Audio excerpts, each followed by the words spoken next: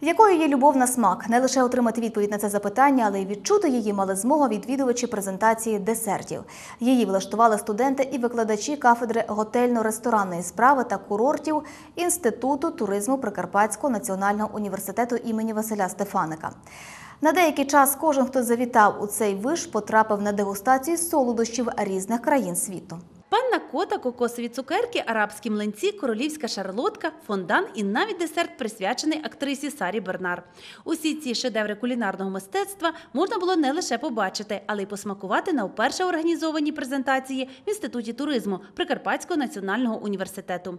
Студенти 4-5 курсів всього за декілька годин приготували десерти різних країн світу, тим самим продемонструвавши свій рівень підготовки. Це тривалий процес роботи наших працівників, е, особливо викладачів кафедри готельно-ресторанної справи, які вели достатньо довгий процес підготовки фахівців в цьому напрямку. Ми сподіваємося, що набуті знання нашими студентами допоможуть їм у їхньому майбутньому працевлаштуванні. А наші абітурієнти звернуть особливу увагу на те, що ми не тільки вміємо навчати теоретично, а ми вміємо готувати і практично. Нам хотілося показати сучасні напрями в оформленні, поєднання стилю, поєднання смаку і мінімалізм.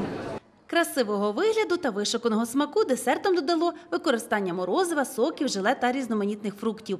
А ще секрет успіху запропонованих солодощів натхнення та позитивний настрій, стверджують тутешні кондитери. Саме жіноче свято, то вже був настрій досить хороший і готувалося просто і з хорошим настроєм. Крім самих основних інгредієнтів, можна в принципі вкладувати саму душу в цю роботу.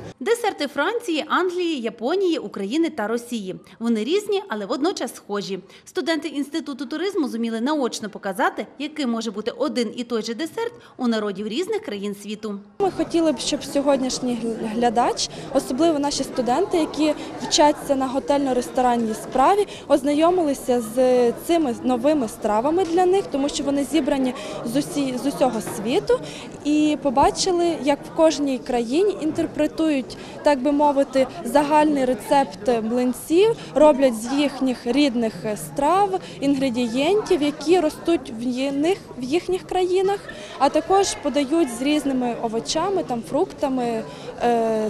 Молочними продуктами в кожній країні, які в тій країні є найбільше і рідні для них. Десерт з'явився у 16 столітті. До цих пір він є неодмінним атрибутом будь-якого святкування. Гарний і смачний десерт є хорошим завершенням банкету. Тому важливо цій страві приділяти неабияку увагу, так як це роблять в інституті туризму Прикарпатського національного університету імені Василя Стефаника.